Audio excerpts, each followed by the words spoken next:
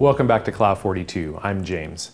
You will recall that we just finished making a carbide insert hand scraper, and you will also recall that I freely admit I have no diamond grinder with which to sharpen that scraper.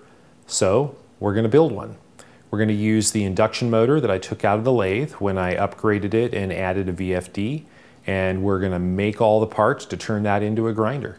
Let's go over to the bench, take a look at what we have to work with.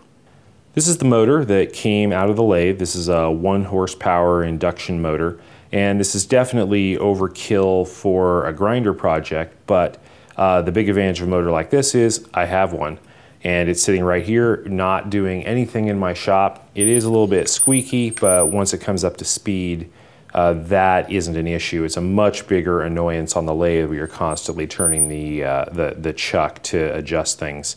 Uh, in the grinder, it's not going to be a big deal, plus this thing is not going to run that often. Uh, for abrasives, we're using these diamond lapping plates. These are just eBay specials, 600 grit, 1500 grit, and 3000 grit. The heavier grits will be for shaping the carbide insert, you know, putting a radius on it. And then the finest one, the 3000, will be on there most of the time for uh, actually uh, honing and putting an edge back on the scraper as we use it.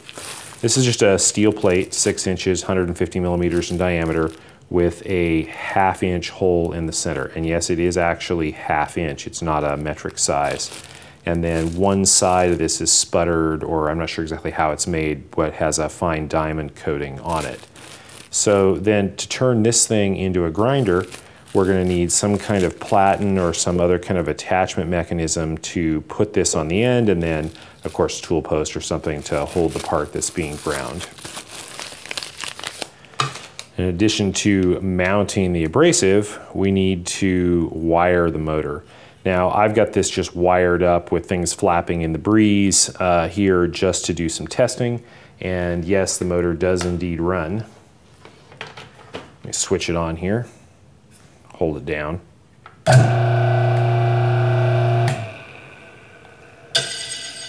You can hear the squeak as the centrifugal switch uh, makes contact as it spins down. Uh, let's talk about how this thing is wired. So this is a single phase dual capacitor AC induction motor. Uh, 110 volts, 13.6 amps, producing one horsepower. Um, this is uh, for 60 hertz use, and at 60 hertz, this produces 1,720 RPM. So this is a uh, four pole motor uh, two pole motor be running at double this, 3400, 3600 RPM. And that's what you'd find in a typical bench grinder. Like if I just went down to Harbor Freight or Grizzly or someplace and bought a low end bench grinder to convert for this application, it would be a 3400 RPM motor or 3600 RPM uh, no slip motor. And that I think is, is too fast for this. Now I think it would work just fine but I would actually prefer the slower speed with the diamond grinding plates just to, to make it a little bit easier to handle. Now, this is a dual capacitor motor. There's two capacitors. C1 is 150 microfarads, and that is this one, and C2 is 20 microfarads, which is this one. Now, the two different capacitors serve two different purposes. The 20 microfarad capacitor is a run capacitor. That's going to be always switched into the circuit while the motor is running. And usually what that does is the, through that capacitor, it energizes the second set of coils in the motor, which then creates a rotating magnetic field. The first capacitor, C1, is larger and that is a start capacitor that's usually only switched in to the motor when it's starting and it dramatically increases the starting torque. And I believe the switch that disconnects this once it's running is what you're hearing when this thing squeaks. Not absolutely certain, but I'm pretty sure that's what it is because as soon as it spins up, that stops. And when it's spinning down, you hear just before it stops, you'll hear that, that uh, suddenly click and cut back in. So I think that's the centrifugal switch that's making that noise. Now this is a six terminal uh, strip here on the top of the motors. There's six wires that go down into the coils, and the wiring diagram shows how everything's connected. C1, the 150 microfarad, is connected between these last two terminals, between V2 and W1. And then the C2, the run capacitor, is connected between V1 and W1. And so those are connected permanently there. And then the other, the four terminals on this end, you have two choices of how to wire it. You can wire it as you see, I've used this diagram here and I've shorted across these two terminals, W2 to U2 and U1 to V1, and then attach the power to those leads on the end. And that will cause the motor to spin in one direction. If instead you move, rotate this 90 degrees and put the shorting bars this direction and connect the power here, then the motor will run in the opposite direction. And I just tried, uh, there's no indication here as to which is which, so I just tried one. You can see I've wired this up here on the end, which is this diagram here, and it spins counterclockwise when you're looking at the face of what will be the diamond lapping plates. And that's ideal for this uh, situation because then any torque that you apply, any drag caused by grinding will tend to tighten the screw in the end of the shaft rather than to loosen it.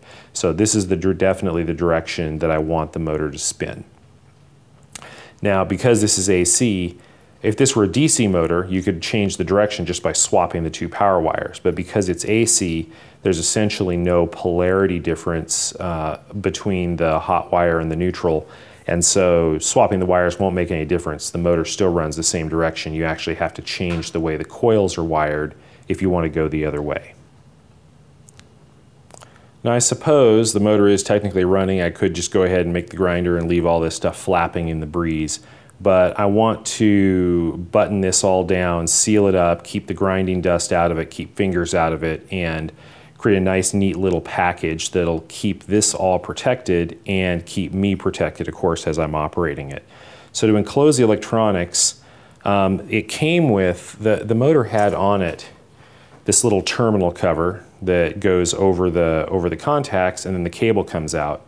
And that's fine if you get another box like the lathe had to contain the capacitors. And in the case of the lathe, there was also a contactor and a bunch of switches.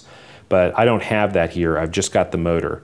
So what I want to do is put a larger box on the top of this that will hold the capacitors and contain all the wiring and give a place for a switch uh, and a nice solid place to connect the power cable.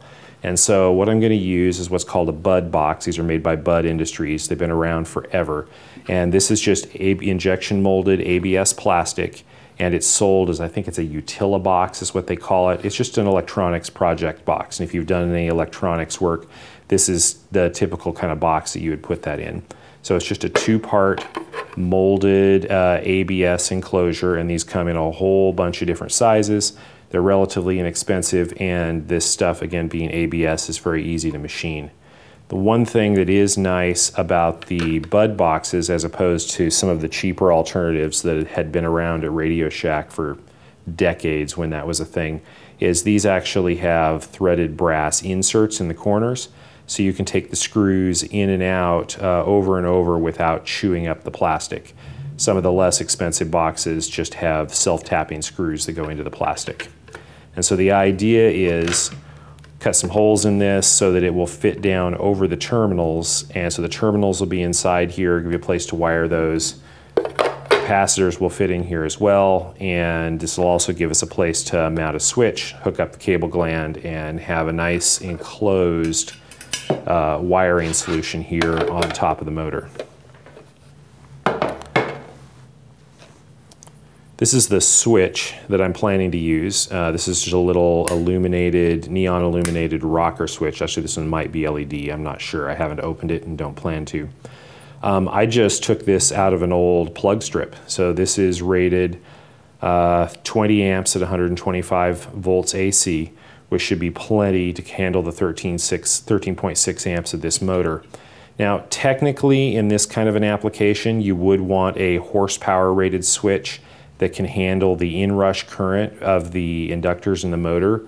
Uh, I think this is going to be light duty enough that it's not going to be a problem. The motor's not going to be under heavy load when it's starting because we just have the, uh, uh, the lapping plate on it. Um, this isn't going to be used all day, every day. If it does fail, uh, this is a standard size switch. It'll be easy to get another one and replace it with something a little bit more robust. But this one was free out of an old uh, damaged plug strip, so I will just use it and I think this is going to be fine.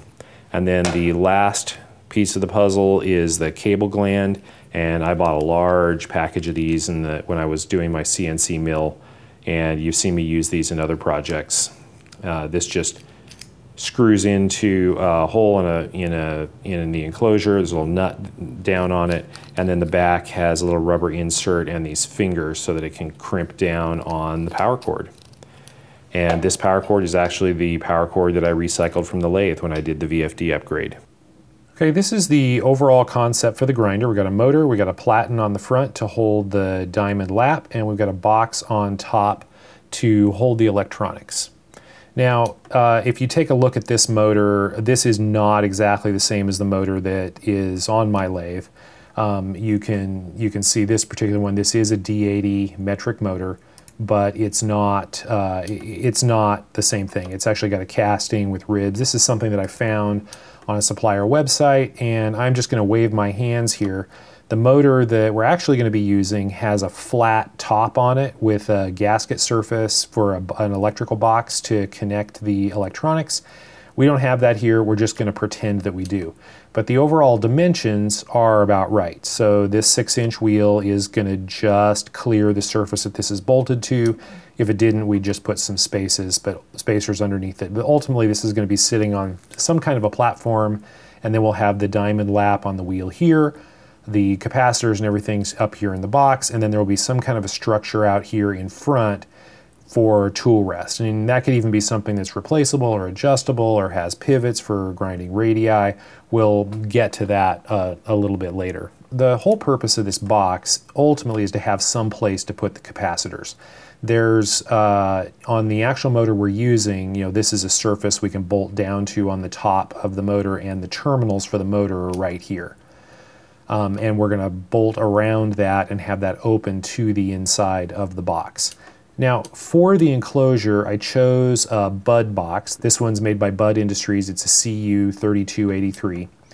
And they're available in all kinds of sizes. You know, they're like 10 bucks. It's not a big deal. And as an added convenience, most suppliers, and I think uh, Bud themselves, but uh, most suppliers are going to have 3D models for these boxes that you can download. And that's exactly what I did here. This is just the box. Um, I can show you the box. So this is just a model of the box that I downloaded off of the supplier's website uh, and imported here into Fusion 360 as a step file and then did a little bit to actually connect, you know, create a rigid group and put everything together so that it'll move around all as one unit. Now this box is about the right size. I just roughly modeled these capacitors. Um, to connect it down to the motor, we can't just bolt the box directly to the motor because there's a nameplate under here with some rivets that make it stick up and then the fan shroud on the back sticks up even further so we need some kind of a spacer. So let me turn off the box and let's take a look at what we've got here. This is the spacer and it's a rectangular um, extrusion, and in this case I'm going to probably 3D print it, but I could just as easily mill this out of aluminum. And it's got the four holes to match the hole pattern on the, uh, on the motor, and this will sit down around the terminal, and then the box will sit on top, and it'll have to have a hole cut in the bottom of it as well, with four screws that will go through the box, through the spacer, into the motor holding everything in place. Then that'll give us a space in here where we can drop in the capacitors, hook everything up. In the side of the box here, we've got room for the switch. Back here, we've got room for the cable gland for the power to come in. And uh, we should be golden. Throw the cover on it, and we've got a complete self-contained unit. Now, to attach the diamond lapping plate to the front of the motor, we need some kind of platen. And this is what I came up with. If you look at the motor itself, the motor has a 19 millimeter diameter shaft with a 6 millimeter square key. And it's not shown in this motor, but there's also a tapped M6 uh, screw thread in the end that was used to hold the, the pulley on here. So the pulley goes on, it's a close fit over the shaft, it's keyed so it can't rotate, and then a screw in the end holds it on. And we're going to use that same attachment uh, mechanism for the platen. So this is the design of the platen, and you can see it's just uh, a collar that goes around. This will be a 19 millimeter bore that closely fits with a keyway cut in it.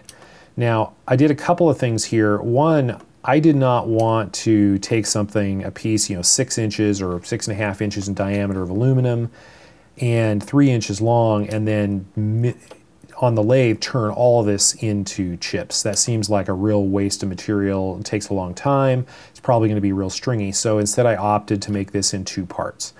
So this is two, mil two inches in diameter. We'll probably just go 50 millimeters so we can clean it up nice. Bored out with the keyway. And then the platen is attached to the front of it with screws. So we can very easily make this part we can shape out the keyway, more to come. We're actually going to try to do that. We're going to try to CNC shape that vertically on the mill. That'll be an interesting project when the time comes for that. But we can, this is a simple piece of turning, put in the keyway, and then put in six holes on the mill. Then we can make the platen also on the lathe, flat and round, and then go the, over to the mill and put in the hole pattern to attach that down with the screws then we can always chuck this back up in the lathe, indicate it in, and then round this out and make sure everything is absolutely concentric. And in fact, the rotation speed of this motor is 1750 RPM, so we really could even put this on the motor, attach it, spin it at 1750 RPM, the rim speed of this is still going to be under 3,000 surface feet per minute, which is acceptable for carbide cutting aluminum. So we could even flatten this out spinning on the motor. We'll see if that's necessary. If I can get it spinning within a thou, I won't bother. But, you know, if we end up because the motor shaft's not perfectly straight or because of some other imperfections or just because I screwed up, this thing ends up wobbling a little bit, maybe we can find a way to mount the motor on the ways of the lathe and actually use the carriage to face this off with it actually on the motor. Now, these screw heads are going to be sunk below the surface and so the diamond lapping plates which I don't have shown here are six inches in diameter with a half inch hole. We'll turn this little nub in the center to fit that perfectly and register it and then there will be some kind of a round cap maybe made of steel maybe made of aluminum with a hole through it to accept the M6 screw that'll go through this into the end of the motor shaft to hold everything in place. Now the lapping plates are not necessarily flat. I've checked, I have three of them. I've checked all three.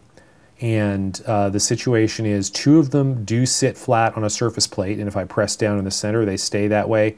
The third one, actually the 3000 grit one, is not flat. I've done a little bit of massaging on the side of the bench. I think I can get it to, to lay flat, but we will find out when we get this whole thing together. Now there are several parts again, like I mentioned, that are not here yet. There's no tool rest, there's no base. I'm still waiting to have some really brilliant ideas for how to do those. If you've got great ideas for how that should be done, throw it down in the comments. Uh, when I come up with something, you will be the first to know. Well, this was just a short intro to the project. I think the first part I want to start on is the electronics enclosure. I'm anxious to get the wires protected and not just flapping around in the breeze. The CAD is done, so all we need to do is 3D print some parts, mill out the openings in the enclosure, and put it all together. And we will start on that next time. If you're enjoying these videos, please give me a thumbs up. Feel free to subscribe to the channel and leave me a comment. I'd like to know what you think. Thank you for watching.